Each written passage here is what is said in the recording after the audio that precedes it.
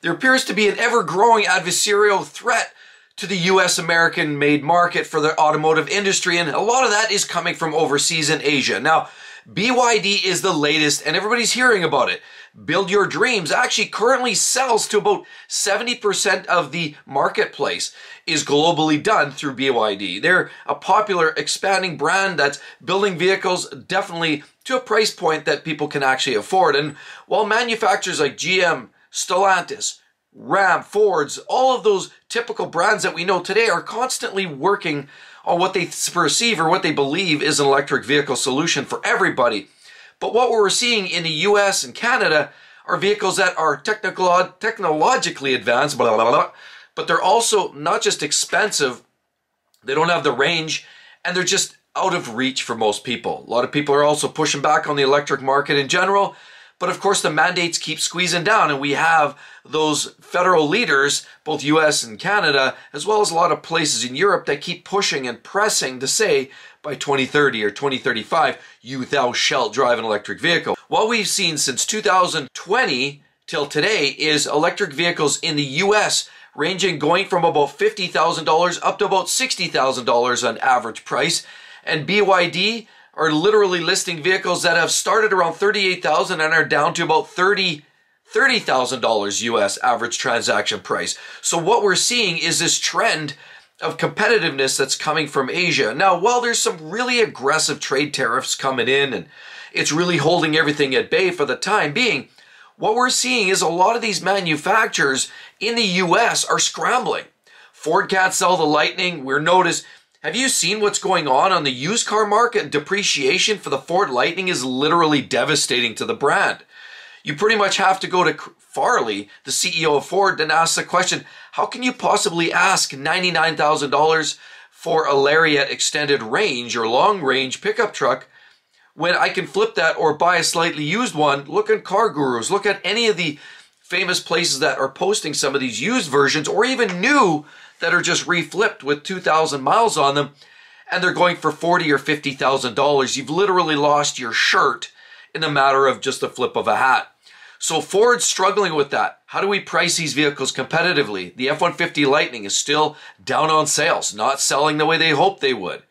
We've also seen the E, well, the Mustang Mach-E also selling, but they're not selling well. Tesla clearly has had several price cuts and slicing of their prices in the last year in 2023 to offer up more incentives for bringing new people into the brand. Well, on the flip side, they've basically shivved the people that bought the vehicle six months earlier and paid 20% more. So Tesla's damaging the reputation, definitely the economy, and they're hurting some of their customers that are trying to be brand loyalists, but they're not having any part of this. Of course, Stellantis, they just can't get it right. Now, while they're trying some of this latest and greatest incorporate electric electrification in some of their vehicles like the Challengers and Chargers, the true enthusiasts are not having anything to do with that, and time will tell. I truly believe, in my opinion, we're going to see what happens with those electric vehicle chargers is what happened with the F-150 Lightning. Trying to rebrand and reutilize, repurpose a name, but we're going to find probably them falling flat on their face. So clearly we're seeing a scramble. Ford's already saying, like, we need to counter this. We need to hit this hard and say, you know what, we need to come up with something more affordable, more competitive. So they're already talking about coming up with maybe a $30,000 electric truck that people can get their hands on just to try to compete with the BYDs of the world. But I don't know if that's going to work. And the only thing saving right now the Ford, GM, Stellantis, Ram, and those brands is the tariffs. We know, I've spoken about this before with the trade tariffs are what's holding them back and keeping a little bit of a monopoly in house, which unfortunately hurts the consumer because we get a vehicle that's not competitive in terms of quality, fit and finish, and a lot of those vehicles just aren't built the way they should be, or at least not in the capacity that the cons- customer consumer would hope they would be. So what we're starting to see is a bad scenario here. We see the Chinese market really imposing itself, and while they don't Im- intend to really build a, well, they don't really want to build a, a manufacturing plant here in the U.S. yet, and there's a lot of resistance to that they are, in fact, looking at building something in Mexico, so it's already on our native soil, and we're going to have a real challenge on our hands trying to keep them at bay. Now they're coming in, they're fast and furious. And while, of course, the trade unions and the associations for workers here in the US and Canada are pushing back hard saying we need to increase the tariffs to make sure that those folks don't come in here. But you know what? I call it free market. Open the doors. Well, maybe not, right? I mean, we have to protect our workers in some way, but the flip side is, you know, we, you know, as the consumer, we need a way to be competitive. What's going to happen, though, unfortunately, the writing's on the wall. If those tariffs tariffs drop, or there's even a stiffer competition and more demand by the consumers and more desirability to get those foreign vehicles in here, for example, like BYD, it's going to push those tariffs out of the way. That's definitely going to hurt the workers here in Canada, US. I know here in Canada we have a lot of manufacturing facilities down in Ontario and as well in Montreal and Quebec. But down in the US, lots, Detroit, they're all going to hurt. They're all going to feel the burn and the pain and that's just a bad place to be. We definitely want to support the, the local workers. They got to keep, you know, food on their table. But the sad reality is BYD's coming in fast and furious. And while they've shown what they can do, and again, as I've said, they're surf they're they're supplying vehicles to the majority of the globe right now. The fact remains is it's just a matter of time before they push their way into the US Canadian market. Things are shaping up to be a very interesting time. Now we're seeing interesting vehicles like the Seagull by BYD. 0 to 60, 11 seconds, 190 mile range.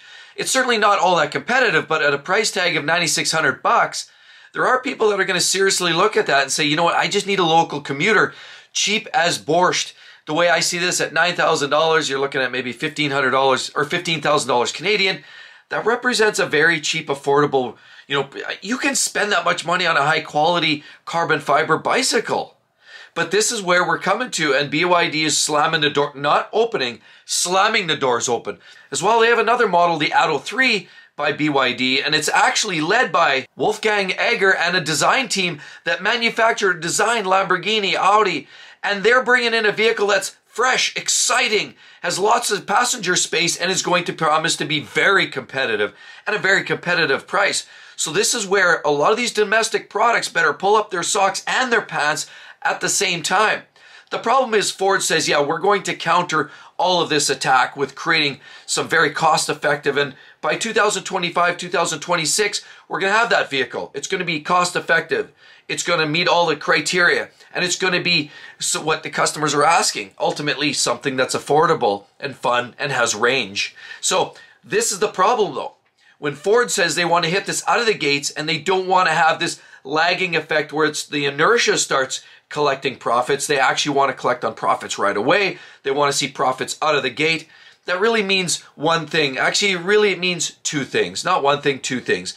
One is you've got to cut costs aggressively. What does that mean? Shortcuts, cheap parts, components, just what we don't need more to see in Ford. There's enough quality control issues there, enough to choke a horse already, and unfortunately, this is just what we're going to be in for. So lower grade parts, engineering substandard components, in my personal opinion. And the other angle is labor. Labor is the other part, assembly of these vehicles. So how are they going to assemble these vehicles? Well, either they come up with a way that's more modular, quicker to assemble, or they're going to have to do something with lower cost, lower cost workers, unfortunately. What does that mean? I don't know. You be the guest, you be the judge. I have no idea. But that's what Ford is promising.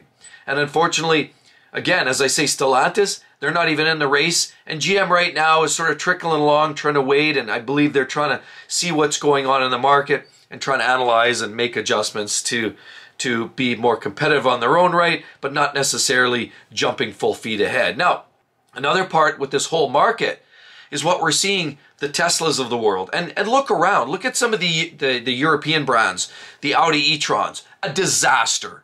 One year old and they're worth 50, 40% of their, you know, base price new. As well, we're talking about the Porsche Taycan hasn't been a flaring success. And as well, Mercedes EQE, EQS, and all of those have been a colossal flop. They're just not selling.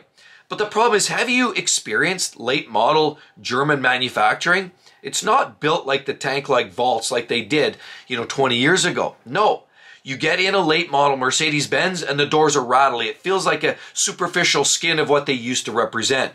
They're putting bigger brand badges on it. They're putting some of the cheap plastics and little touches of leather in the right spots. But generally, the cars are lighter, flimsier, more hollow. The drivetrains are lighter duty, and none of the vehicles seem to be holding up as well as they used to.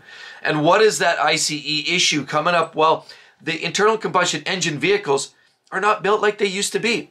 And a lot of it has to do with because some of these brands in Europe are now having to fund and develop this electrified vehicle space.